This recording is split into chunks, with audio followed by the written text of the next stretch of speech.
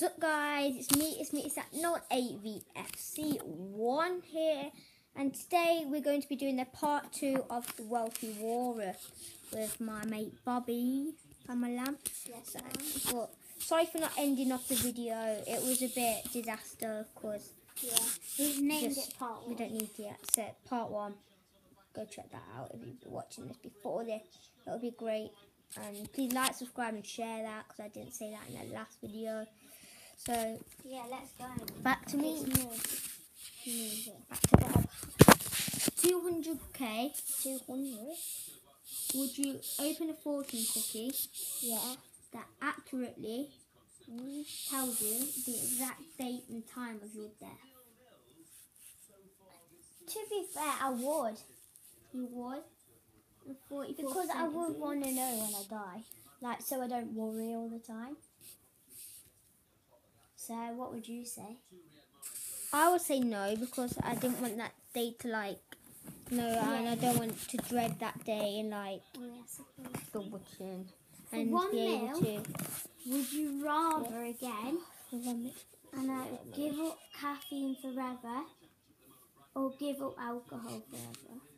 alcohol Same, I'd always give up alcohol. because I'm Yeah, not. I don't drink alcohol, as you could probably see, because we're too young. and we, And- I don't even want to. And I don't even want to. But, Arsenal are 1 0 up now. but I probably I am gonna eat it, so I'm gonna say give up alcohol. So back over to Bobby. For 200k, 200. Would you chop off seven random ponytails, as in like Yeah, yeah. on the back of your head, at a crowded movie theatre? Uh, Would you? we, to be fair, yeah. Yeah, so would I. 72% 72% agree. agree. Yeah. Right, my So- question. I'm getting a bit funny. You know, would you rather this time, Sophie? But for 8 million, would you press a button that blows up an uninhabited, uninhabited, Uninhabited. planet outside of our solar system? Mm. 8 mil.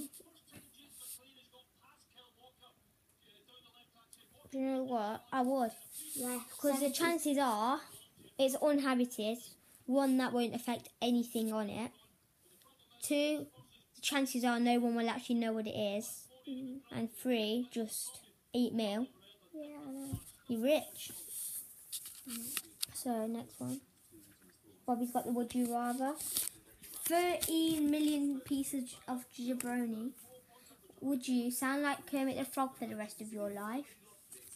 Or breathe like Darth Vader for the rest of your life? Or I'd Or you could keep your money. to be fair, I'd, I'd obviously do one of them. I won't keep, I won't let him keep his money. Hmm. I'd probably breathe like Darth Vader. Same, I would. And Yeah, 47%. Forty-seven agree. percent agree. Bobby probably already knows the answer to this one. For one mil, would you wake up tomorrow one foot tall? No, I know that. Because you're small. I you? love being a midget and it's really fun. So. Mm. So, So, tall people, come the F at me. For 40 million, 40. would you rather have truly evil parents Yeah. or have truly evil children? Oh. To be fair, I wouldn't want evil children and I wouldn't want evil parents. Can Kit keep his 40 million?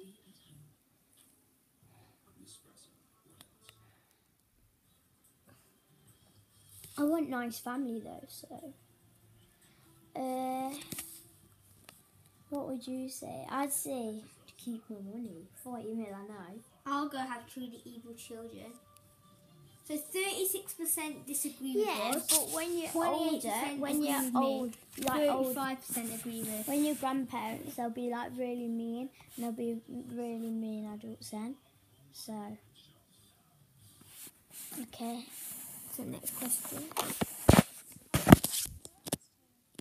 Paolo, what's the thing?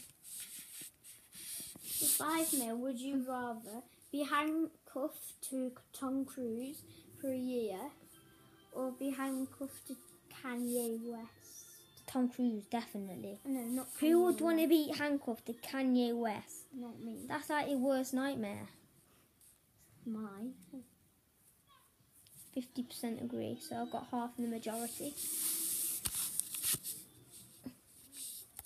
For two million pounds, would you perform a voodoo ritual that causes NBA star LeBron James, like the best, well, right, Yeah. currently the best NBA player in the world, to have a career-ending injury?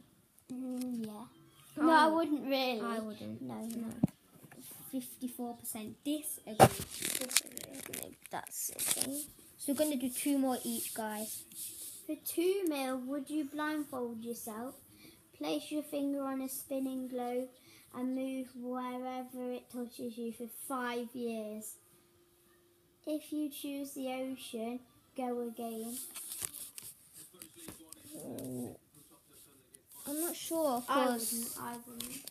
you could end up in a really nice place. Like you could stay in England or USA or But well, if you Russia is a very, safe place right now.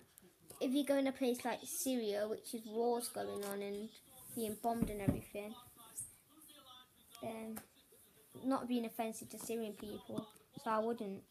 No. I would if there's not wars going on and everything. No, but what if it landed in Australia? That would be a good thing. Yeah, but the chances are he's not going to out of like 204 countries in the world. 197. I've read 100. Wait, didn't it say 196 different countries? Oh. See? Oh, on, on Wikipedia. It's either this or Wikipedia, so. For 9 mil, No, would you kidnap in a would you kidnap a child in a third world country and raise it as your own? No. I would. That's just mean, though. It's not. It is kidnap a child. Let's do it. So this is the last My last one. And Bobby's got one I've more. already had. No, I've had my last one. Have you?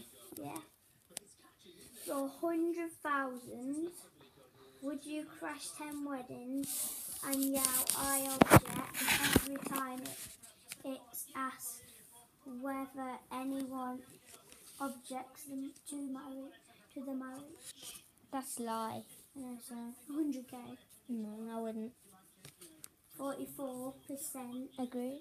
disagree. No, they do agree. So, thank you for watching, guys. Please like, subscribe, and share. Stay tuned for another. Safe, Peace. safe. Bye.